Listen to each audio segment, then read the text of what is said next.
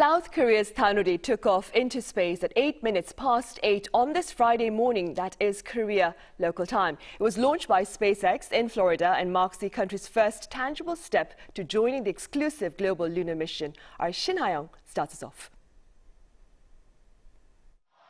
The long journey of South Korea's first lunar orbiter has begun.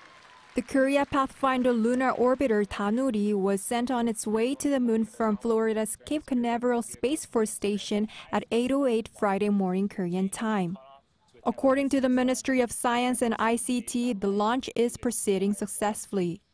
40 minutes after the launch, the 678 kilogram Danuri successfully separated from its SpaceX Falcon 9 carrier rocket.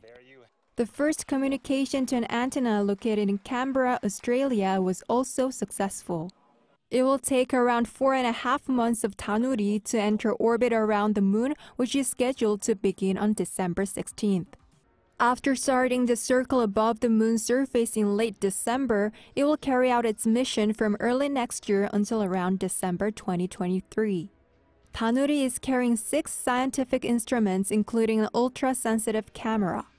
During its mission, it will measure a variety of traits of the lunar surface as well as the terrain and magnetic strength to create the world's first polarization map of the entire moon. In addition, Danuri will look for the best landing site for NASA's Artemis program and will test the world's first deep space internet communication.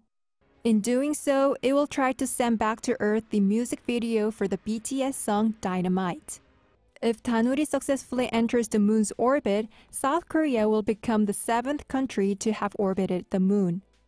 신하영 Arirang News.